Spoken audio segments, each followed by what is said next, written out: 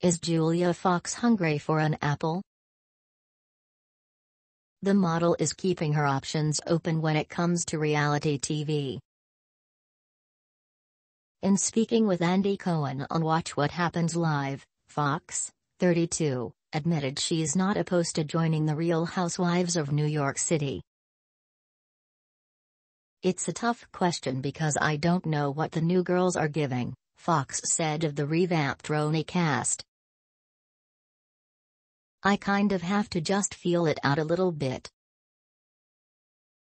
She ended the statement with an open door, if I think we can vibe, then yeah, why not? Fox also revealed that a producer did call me about being on the show after she struck up a friendship with RHONY alum Leah McSweeney. It was kind of, I had a lot going on in that moment so, it just wasn't the right time, she added. But, you know, never say never. When the game also included a poll of live viewers who would or wouldn't like to see Fox on the show, 61% of the audience voted no, which sent Fox into a bout of laughter.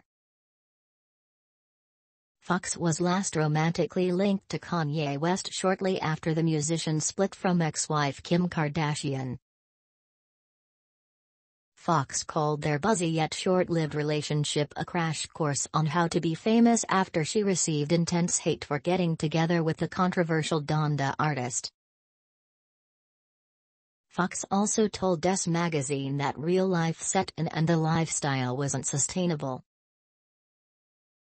She added that she tapped out at the first sign of a red flag. Watch What Happens Live with Andy Cohen airs Sunday through Thursday nights on Bravo. Check listings. No premiere date has been announced for season 14 of The Real Housewives of New York City.